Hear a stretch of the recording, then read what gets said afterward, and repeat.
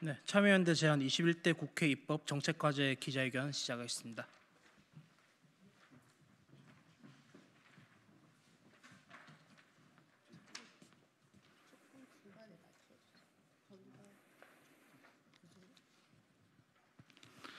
네, 21대 국회를 맞아 참여연대가 제안하는 11대 분야 70대 정책과제 기자회견을 시작하도록 하겠습니다.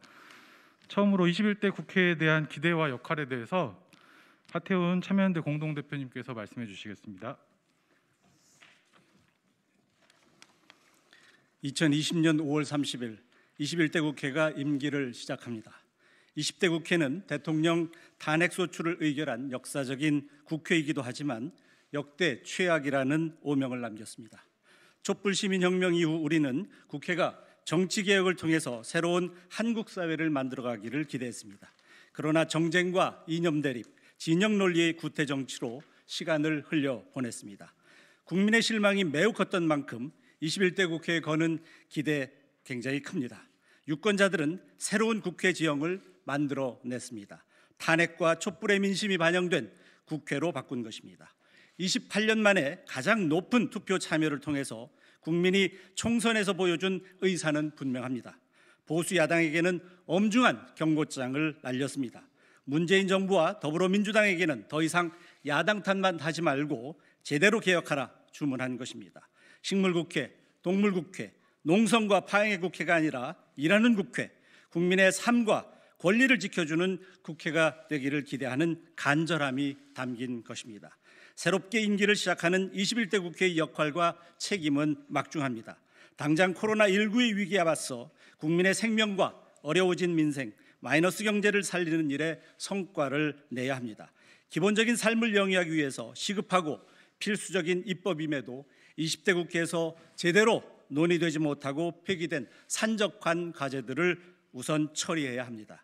특히 지난 대선에서 대통령이 공약했던 정책과 여야 정당들이 총선에서 공약으로 제시한 입법 과제들을 21대 국회에서 우선해서 처리해야 할 것입니다. 코로나19 팬데믹의 세계적 위기 상황 속에서 21대 국회가 출발합니다. 국민의 생명과 안전, 민생은 풍전등화와 같은 처지에 놓여 있습니다. 지금까지 경험하지 못했던 엄청난 위기의 극복에는 여야의 구분이 있을 수 없습니다. 대화와 협치만이 코로나 위기를 벗어나게 하고 포스트 코로나를 대비할 수 있게 할 것입니다. 참여연대는 오늘 국민의 기대와 열망을 담아 11대 분야 70개 입법 정책 과제를 제안합니다. 21대 국회가 이러한 국민의 목소리를 귀담아 듣고 적극적인 개혁에 나서 주실 것을 다시 한번 촉구합니다. 20대 국회를 반면교사로 삼아 국민에게 희망을 주는 21대 국회가 되기를 기대합니다.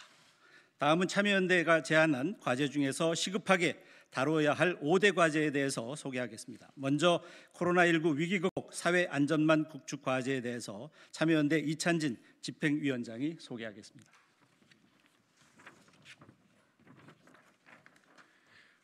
네. 코로나19 위기는 사회 안전망이 그물에서 벗어난 많은 시민들의 어려움을 우리 사회가 인식하는 계기가 되었습니다. 예술인, 학습지 교사, 대리기사와 같은 우리 주변의 특수고용 노동자들은 어떤 고용 안전망이 보호 없이 이 위기를 겪고 있습니다. 정부는 아프면 쉬라고 하지만 하루의 노동으로 생계를 이어가는 취약계층 노동자들은 아파도 쉴 수 없는 것이 우리 현실입니다. 코로나19 위기가 장기화될 경우 감염병만이 아니라 우리 사회의 취약한 안전망이 시민들의 생명을 벼랑으로 내몰 수 있습니다. 당장의 코로나19 위기에서 시민들을 지켜낼 수 있도록 그 이후에 닥칠 또 다른 위기가 두렵지 않도록 우리 사회 안전망이 새롭게 짜여져야 합니다. 우리 건강보험 제도가 코로나19 위기를 극복하는 밑받침이라는 것을 확인했듯이 더 든든한 사회 안전망이 필요합니다. 먼저 고용 안전망 강화를 위한 실업 부조의 보장과 고용보험 적용 확대를 촉구합니다. 우리나라는 전체 취업자의 절반 정도만 고용보험에 가입하고 있어서 보호 범위가 매우 좁습니다. 고용보험법상 적용 대상이지만 가입하지 않고 있는 경우도 많이 있고 전체 취업자의 31.4%는 법적으로 적용 대상이 아닌 임금 노- 노동자이거나 비임금 근로자입니다. 이들은 제도 자체가 애초에 보호 대상으로 설정하지 않아서 발생한 실업자 보호의 사각지대입니다. 영세 자영자들은 아예 제도 밖에 있습니다. 불행하게도 코로나19 상황이 지속되면서 고용보험의 사각지대에 있는 이 분들이 먼저 대량 실업, 소득 상실의 위기를 겪고 있습니다. 이분들은 일- 일회성 긴급재난 지원금과 그중 일부 집단이 정부의 일시적 지원 대상이 될 뿐더러 감염병 위기 상황에서 이분들이 생기는 막막한 형편입니다. 특수고용 노동자들을 포함한 임금 노동자 전반을 가입 대상자로 하며 실업급여 지급 요건을 완화하고 지- 지급 일수를 연장하는 고용보험법 개정이 되어야 합니다.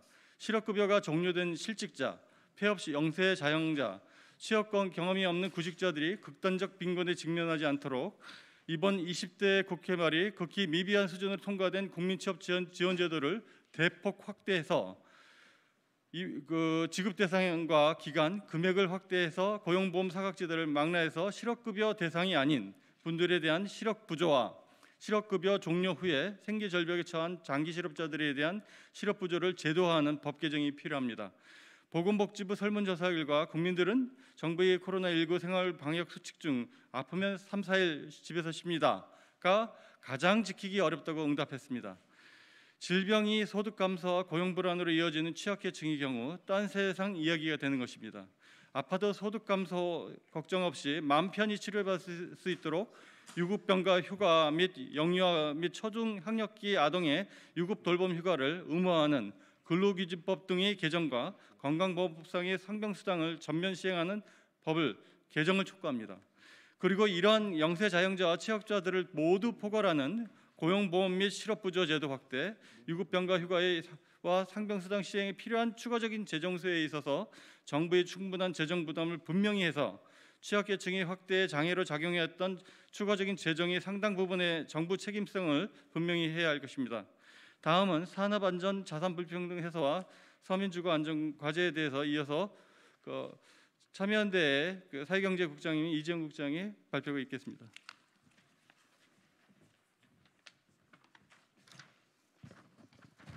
예, 안녕하십니까. 참여연대 이지연입니다.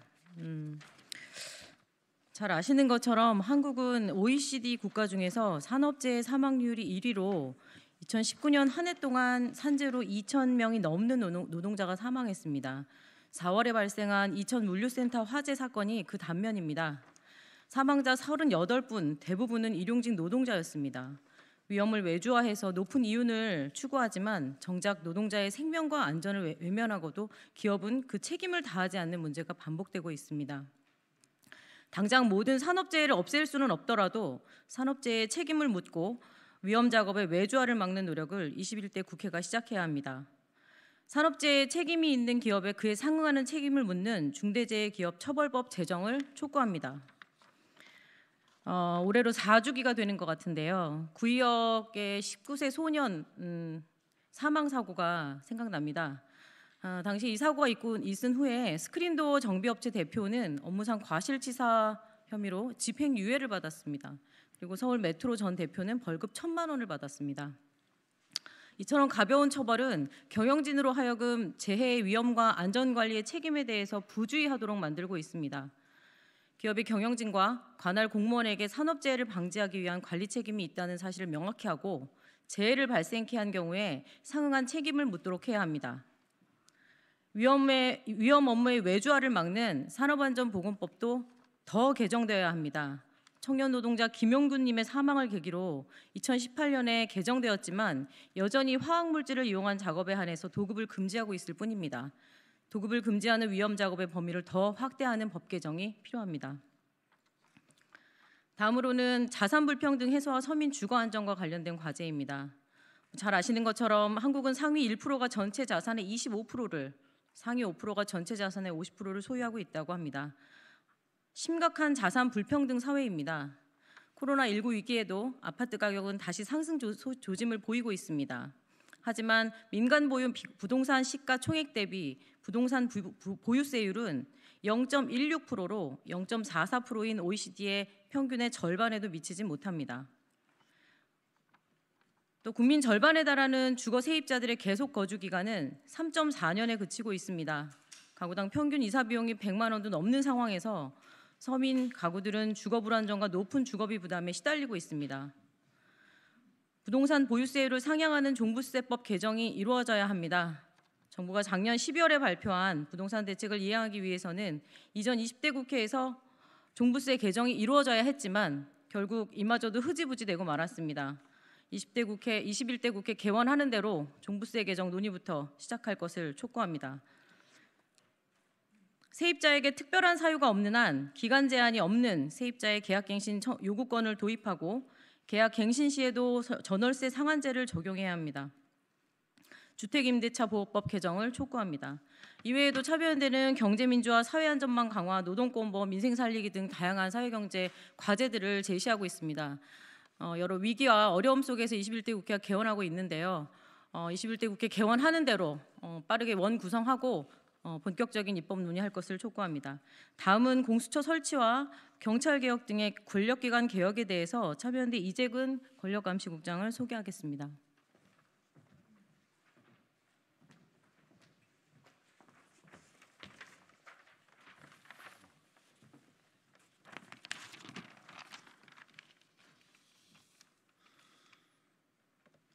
예, 방금 소개받은 참여연대 예, 참여연대 권력감시국장 이재근입니다. 어, 시민의 힘으로 민주주의의 새 역사를 써오고 있지만 여전히 검찰과 경찰 등 권력기관의 권력기관들은 시민들의 위에 군림하고 있습니다. 권력기관의 권한 분산과 축소, 민주적 통제는 한국 사회의 오래된 과제입니다. 다행히 시민사회의 노력과 어, 정부의 노력으로 어, 국민들의 지지 속에서 20대 국회 막바지에 검찰 개혁의 중요한 과제인 공수처 설치법이 통과하고 검경 수사권 조정에 관한 법률 개정이 이루어졌습니다. 하지만 이것은 검찰 개혁을 위한 첫발에 불과합니다.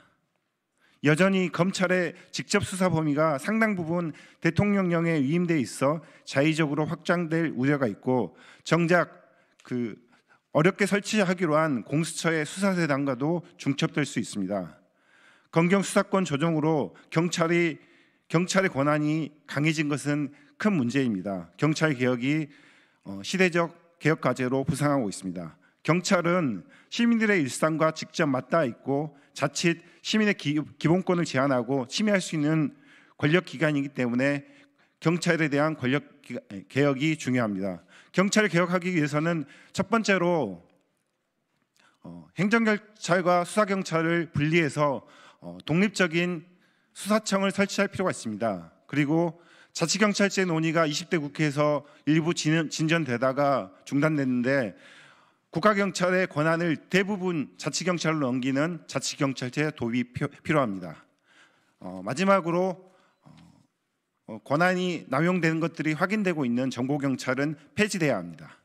그리고 20대 국회는 공수처 설치에 적극적으로 나서야 합니다.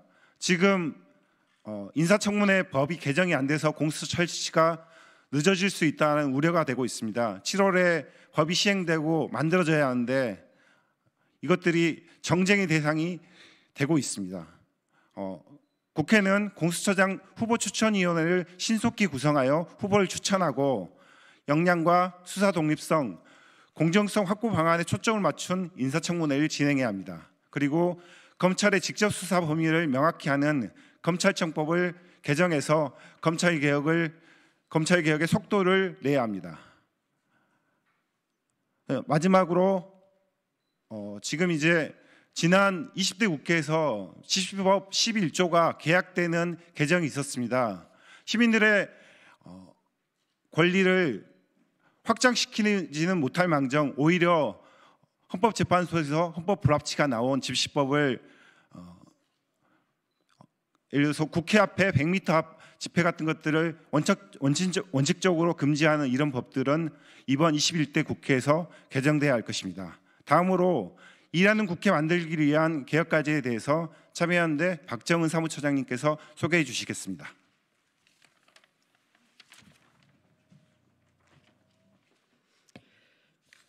네, 저희가 이 공간에 와서 어, 국회 이러저러한 변화를 촉구하고 입법 과제를 촉구하는 일들이 많습니다. 그만큼 한국 사회는 매우 다양해지고 있고 그 갈등의 정도도 어, 다르고요.